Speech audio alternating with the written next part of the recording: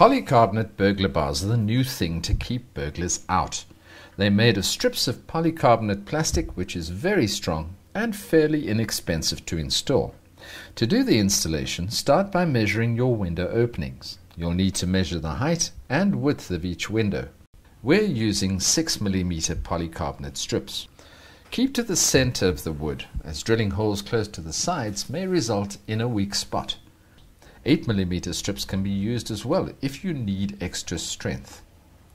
Cutting can be done in many ways. We're using a diamond blade, just like the blades used for cutting ceramic tiles, which we've fitted into an angle grinder.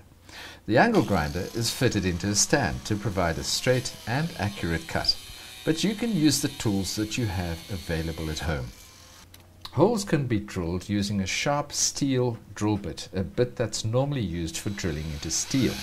Use low speed with high pressure to drill the holes. A bit rotating at high speed could melt the plastic. Once the polycarbonate strips are prepared, installation can begin. The strips must be carefully spaced across the window gap. Work out your spacing to get equal gaps between each strip across your window. Then cut a piece of polycarbonate to the correct size and use that as a spacer. Unevenly spaced strips will not look good. Do a dry run before you put in the screws on the first window to be sure that your spacing is good.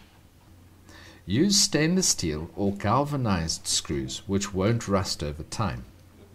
These are self-drilling screws which have a drill bit built in, so we don't need to drill pilot holes. Quite a nice idea. Each screw is fitted with a cup that the screw head nestles into.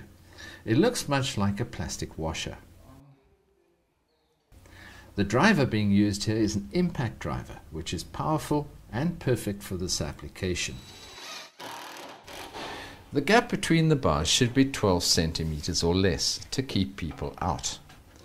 It's a good idea to keep the protective paper on the polycarbonate strips as you work. If you remove the protective paper, the strips will attract dust if you keep the paper on throughout the preparation and only remove it after installation, this won't happen and you'll save yourself a lot of cleaning.